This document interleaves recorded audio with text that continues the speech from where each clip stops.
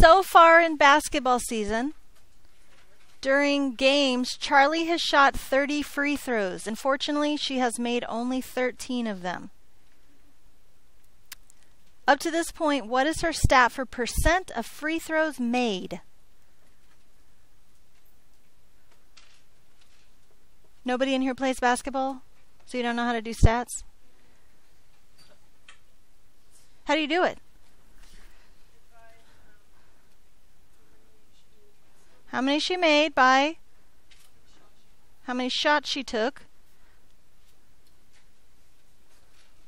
And that is, give me to the thousandth, please. 0.433. Is that what it asked for? My paper says it asked for the percent. How do you know that?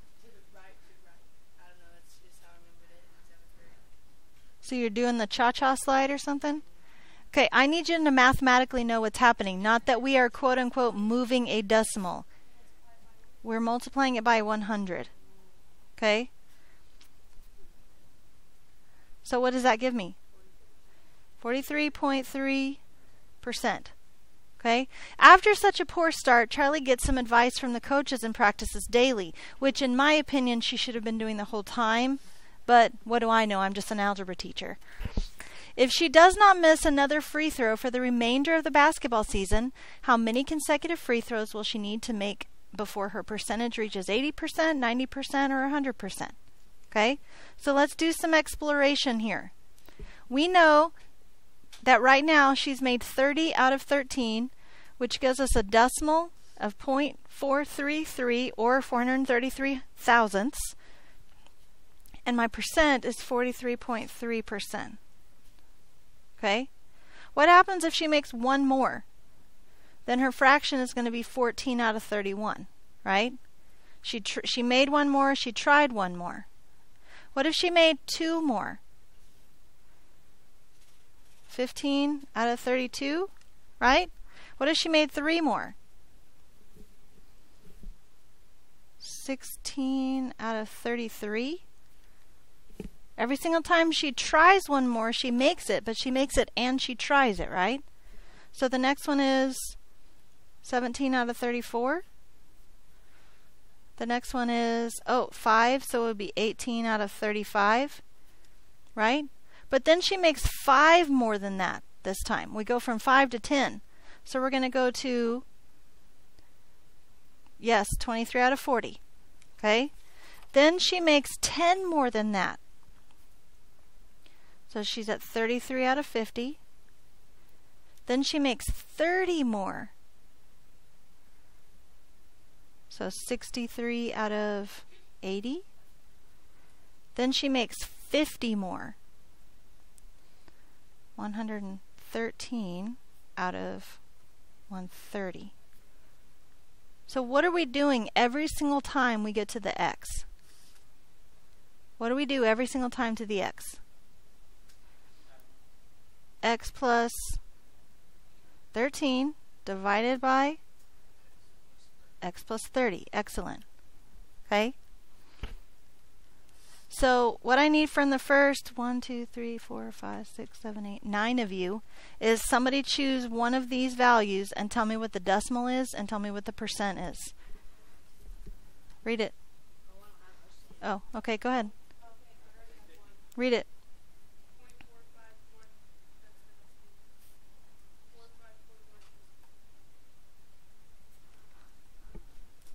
Um, would you please look for me on that one? Is it 0.451 or is it 0.452?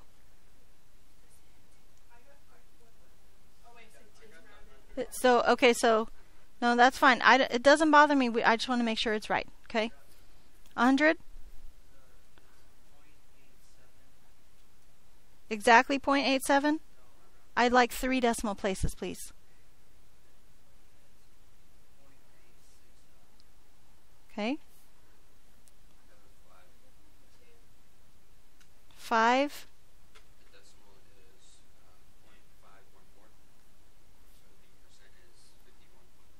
Excellent. 50?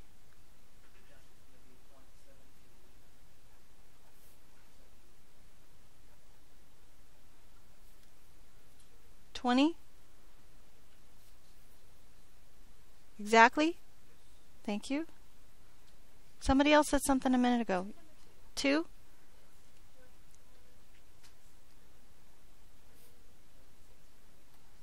Thank you. Ten?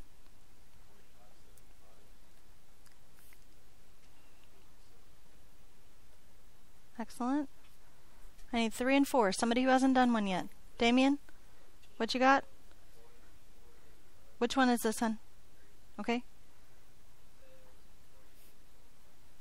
Good. And I need four. Somebody who hasn't done one yet. Nice, Nathan. Okay. So it's really hard to graph some of these points over here, isn't it? Because starting at 1, well, it's going from 0 to 10 right here. That's that's pretty tough, isn't it?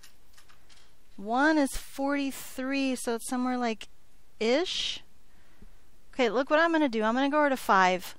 Because 5 is point four, uh, 5, 1. So it's like right there ish.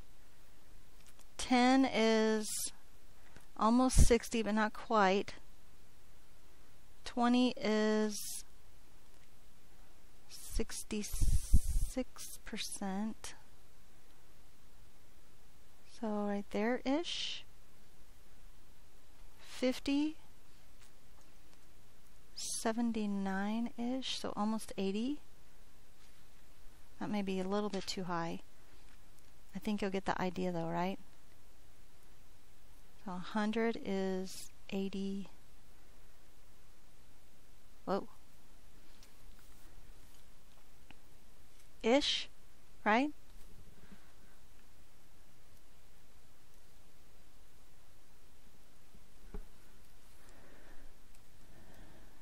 What equation relates these two quantities?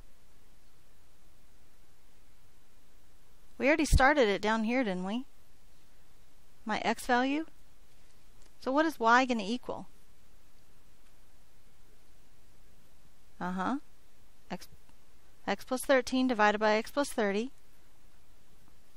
Is that all we did to get our percentage? Because see, that's, that's what's here, right? Then we do have to multiply it by 100. Excellent.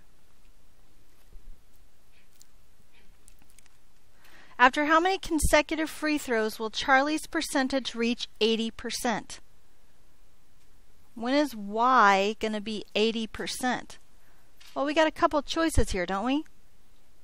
What could we do?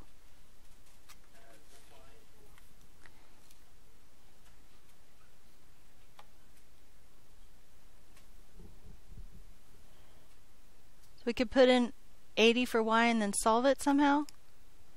Or we could put the y equals into our equation and go look at the table, looking for 80 in the y column?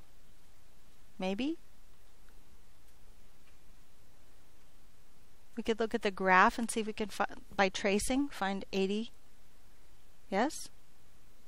There's like 84 different ways to figure it out. Choose one, see if you can find it.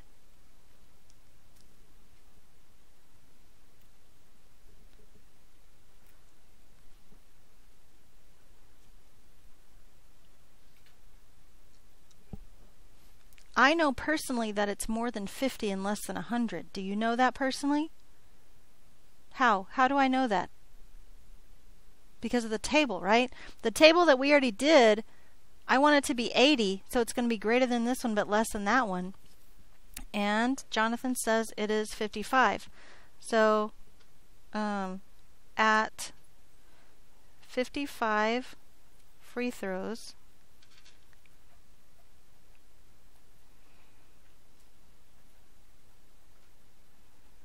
She reaches 80%. Is it exactly 80%? Yes? Awesome. When will it reach 90%?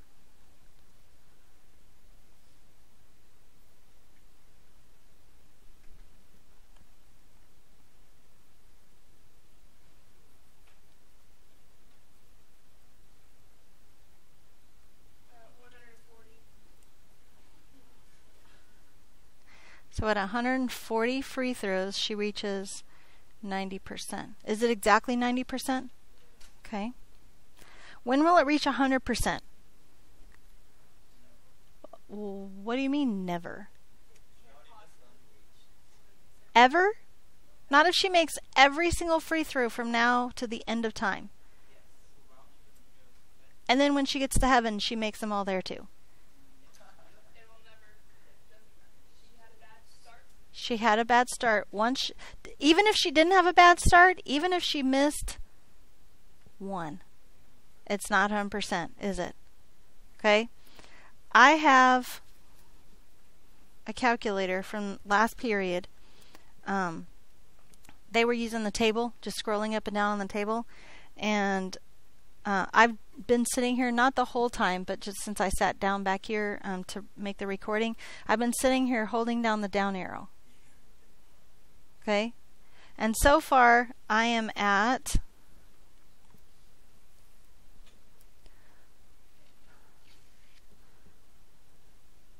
I'm getting pretty close to 100%.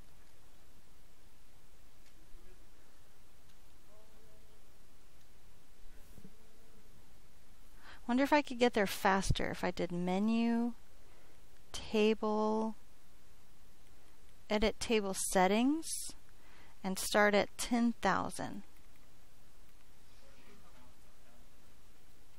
Oh, that's a good idea. Count count by different than ones menu, table, edit table settings.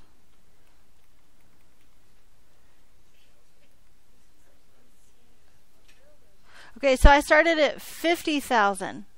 Look where I am. Is it all exactly the same? It looks like it is up here in the table, right? But down here in the bottom line, I don't I don't know if you can see that on the screen very well.